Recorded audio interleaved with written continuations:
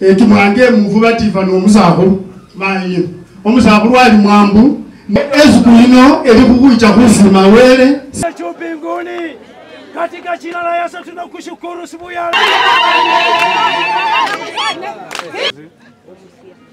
musia.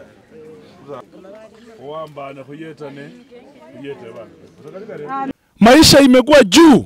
Mheshimiwa rais shughulikia gharama ya maisha. Wacha siasa wewe ulituambia mafuta inapanda kwa sababu raila odinga uhuru kenyatta handshake. Sasa uhuru hayuko. Ni miaka inaenda mbili. Mafuta inaenda juu. Kila hata jana imepanda. Usiku na mchana. Yaani ruto wewe unataka sisi kokore horien ya yeah. unataka tufanye namna gani? Wananchi wanaumia badala ya kushughulikia hiyo. Kila siku nyinyi mnatembea. Mnatembea hata saa hivi nasema hawako hapa.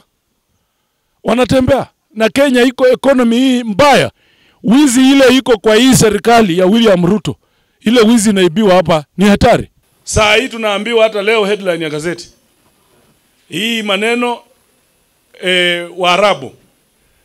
Serikali ya kenya hiyo ministry ya energy inaiba pesa na waarabu. Wanafanya deals hao kwa sababu ni watu wa jamii yenu wanafanya deals hakuna mtu anaguza waluya wetu hii kina chiloba kidogo tu anasema ame, amefutwa kazi.